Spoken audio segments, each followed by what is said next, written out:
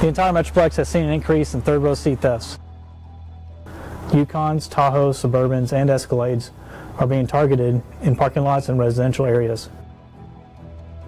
These can typically be in and out of a vehicle in approximately 30 seconds, easily removing the seats with the provided handles.